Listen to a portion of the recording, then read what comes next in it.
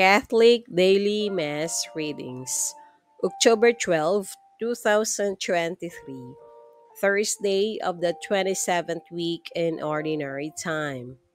A reading from the book of the prophet Malachi. You have defied me in word, says the Lord. Yet you ask, What have we spoken against you? You have said, It is vain to serve God, and what to do we profit by keeping his command, and going about in penitential dress in awe of the Lord of hosts? Rather, must we call the proud blessed, for indeed evildoers prosper, and even tempt God with impunity. Then they who feared the Lord spoke with one another, and the Lord listened attentively. And a record book was written before him of those who fear the Lord and trust in his name. And they shall be mine, says the Lord of hosts, my own special possession on the day I take action. And I will have compassion on them, as a man has compassion on his son who serves him. Then you will again see the distinction between the just and the wicked, between the one who serves God and the one who does not serve him.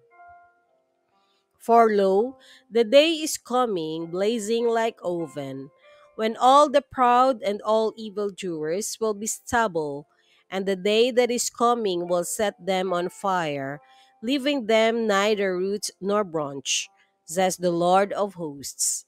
But for you who fear my name, there will arise the Sun of Justice with its healing, healing rays.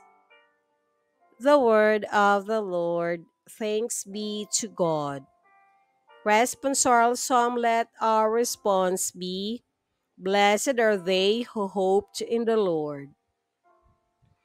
Blessed the man who follows not the counsel of the wicked, nor walks in the way of sinners, nor sits in the company of the insolent, but delights in the law of the Lord and meditates on his law day and night. Blessed are they who hope in the Lord.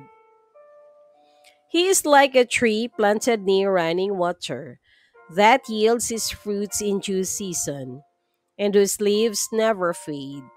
Whatever he does prospers. Blessed are they who hoped in the Lord. Not so the wicked, not so. They are like chaff which the wind drives away.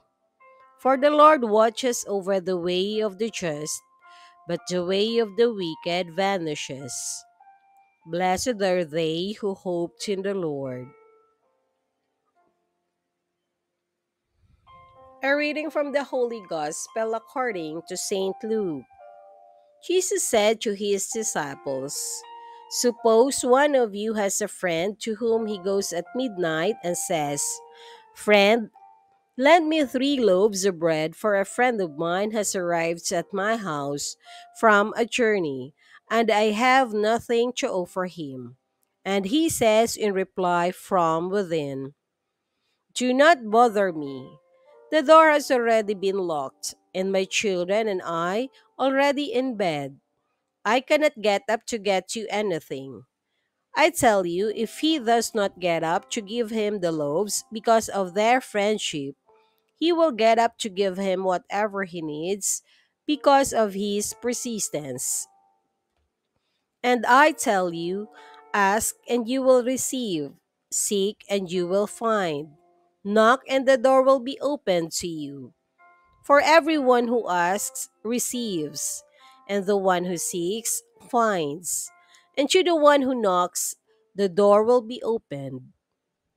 Whatever town you enter and they do not receive you, go out into the streets and say, The dust of your own town that clings to our feet, even that we shake off against you.